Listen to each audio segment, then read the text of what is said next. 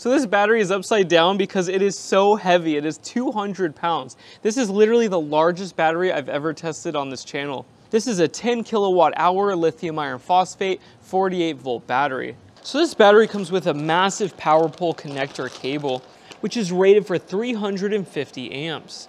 And this is a 48 volt battery charger. And this can output 1,300 watts, so it will take about seven hours to charge up this battery to full. And the main plug connects right here. We have an on and off switch, communication ports, and some DIP switches if you want to change any of the settings.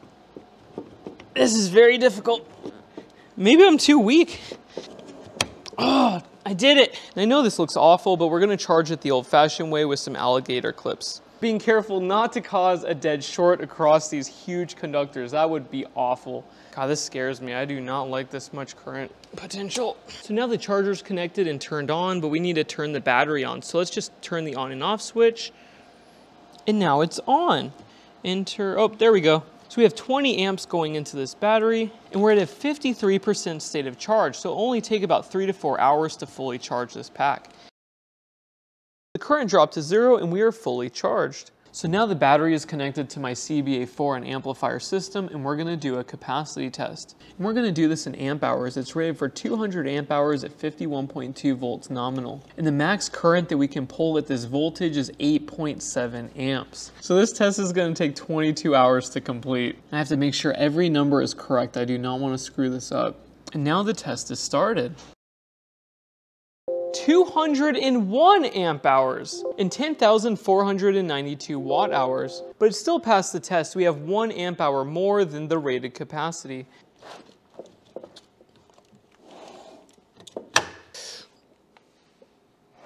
Oh boy.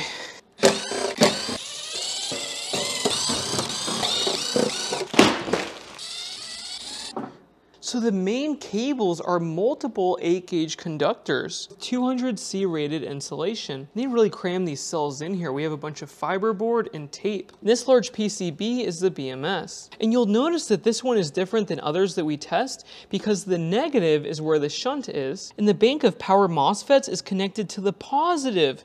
So we have a B positive and a P positive. Typically it's B negative and P negative. So I've never seen this configuration before. And what's nice is how much current this can handle, this was designed well. There should be no current sharing issues. You'll notice that they are all divided up properly. And every wire is well organized. They wrapped it up, have it zip tied down. So I like what they did over here. There's nothing bad that I can see so far. And over here are the temperature sensor leads. And there's four on this battery. So there's two right here and two right here. And all of these colorful wires are the balance leads. So, so far I do not see anything wrong. Um, there's conformal coating, we've got a steel case, nice large heavy duty power pole connector. All of the conductors are the right size.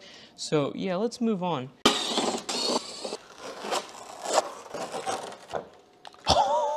Holy cow.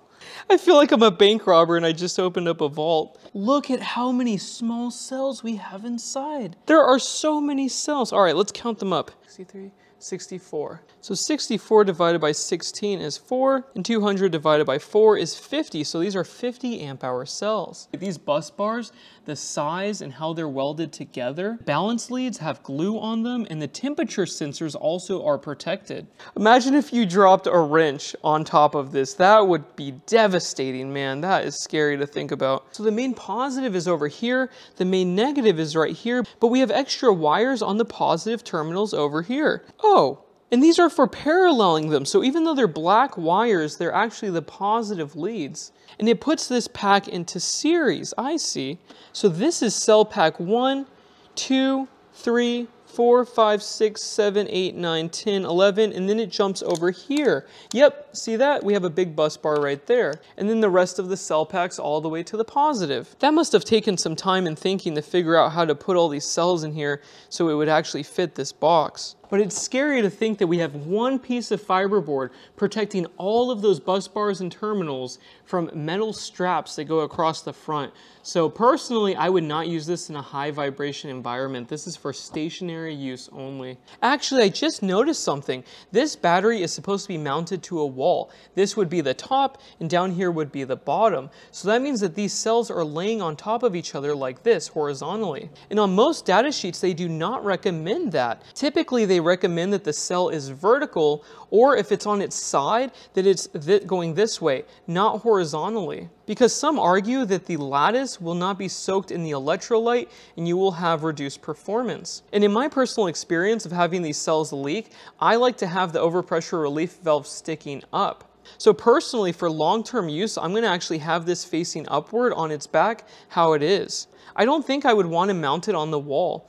Another concern for this pack is that these cells could be pushing down on the one on bottom when this is mounted to a wall. But I don't think that that's a problem considering how these are connected to these bus bars. But again, if you have a high vibration environment, maybe you could break loose the connection between the lattice and the terminal or possibly one of these bus bars, but I highly doubt it because that's very hard to break these. But you could possibly damage the cell. And that's all I can think of. You can see that the temperature sensors are placed in different locations. Um, everything else looks pretty good, but uh, yeah, very interesting that they configured the cells in this fashion. But I'm pretty sure they probably thought it out, or maybe not. I've seen a lot of mistakes by different battery manufacturers. This looks pretty professional, so I would think that it's all right. And they offer a 20 year warranty or something, so I don't think they would want to mess around with that. So maybe these cells are okay on their sides. And it really depends on the cells. Some of them say that it's fine, so who knows? Just want you guys to know that you should have a lot of respect for batteries of this size because there is a lot of potential energy stored in these. I like opening them when they're at a low state of charge, but it really doesn't make a difference. They're all dangerous in some way or another. There's just a lot of electrons that want to flow out of this thing.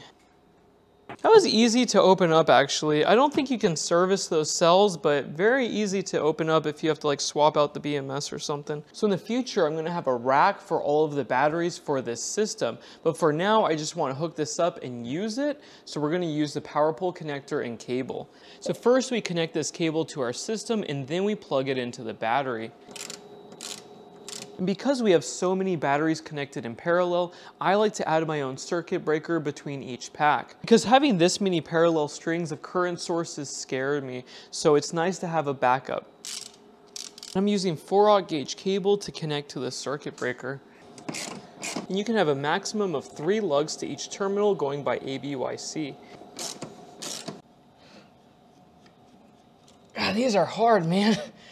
And now I need to switch it on. And now the screen has lit up and it is charging the battery. So on the main screen, it says we're at 44.9 volts, 10 amps are going in from the system, and we're at practically 0% state of charge. And there's a Y for yes for warning because it's at low voltage disconnect. It's still charging up. But you can also access other menu settings. So press the down button and you'll see cell voltage, temperature, warning, and capacity. So wherever it's flashing, that means that it's selected. So let's press enter for cell voltages and you will see all of the cell voltages in this pack. Going by the cell voltage right now at 0% state of charge, I'm imagining that it disconnected at 2.5 and then it settled at 2.8. So we can go down and we can look at all of the cell pack voltages and then press escape, and then press down to go to temperature, press enter. These are the temperature sensors and what temperature they're reporting. We can press escape, press down again. The warning, so you can see over voltage warning, no. Over voltage protection, no. But under voltage protection warning, yes, because it's at a low state of charge. But the under voltage protection is not triggered right now. So we press escape, and then go down. And then the capacity, check this out. It shows you what the shunt has recorded on the last cycle and then what it's recording right now. So it's at a very low state of charge, so it's showing practically zero, and then how many cycles we have done. So this battery has been cycled three times before I had it, and then I did the fourth cycle with my capacity test.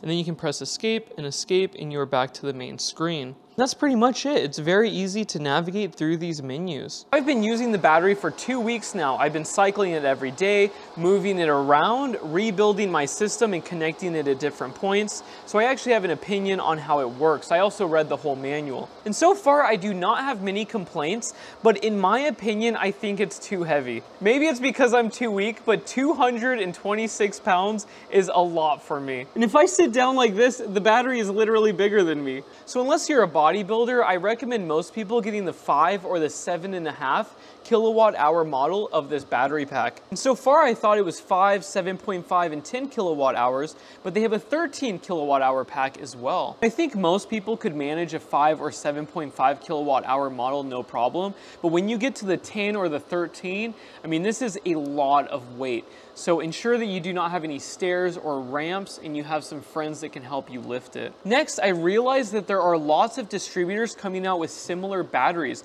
I have batteries under this blanket that I'm not allowed to show you, but they have the same exact communication port, DIP switch, the reset button is the same, um, and also the meter in the interface. And most of these packs have either CATL cells or EVE cells. And so far, it's been running flawlessly. I really don't have any complaints on using it. Also, having a real state of charge indicator on the battery, when I walk into my shop, I just look at this light and then I know what the state of charge is for my entire pack. And I really like that. Previously, I'd have to log into the Victron shunt with my phone and then check it. But now I just come in here and I'm like, oh, I've got power or I don't have power and that's it. Also, I said that I wanted the terminals sticking straight up and I still do not have the data sheet stating if that's good or bad. But um, I'm buying this with my own money. They provide these for testing, but I have to give them back. But I'm actually gonna buy this one because it's so cheap. And I'm actually gonna mount it like this. This will ensure that the batteries are on the bottom, so there's a lower center of gravity. And yeah, I'm not gonna mount 226 pounds onto my wall. That would just be nuts. And in my opinion, it should be fine like this. It also takes up a lot less space. I could easily stack them side by side right here, or put them along this wall. If I were to orient these how I wanted them initially with the terminals facing up, I couldn't really stack them because the screen's on this side. And this case seems strong on all angles, so I think it's fine to have it in this orientation. Also, I had low voltage disconnect. Um, it was connected to my system, solar turned on in the morning and it charged right back up again. And everything else has worked flawlessly. I really like these cables, wherever they source these.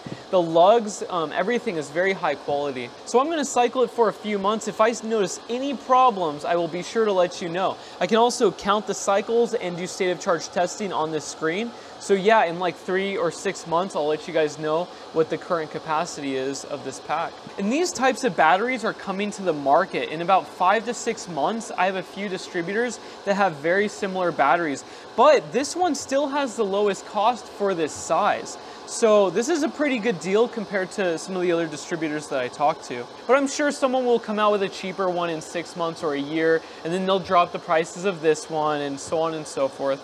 But be sure to compare the warranties because this one has a 20 year warranty.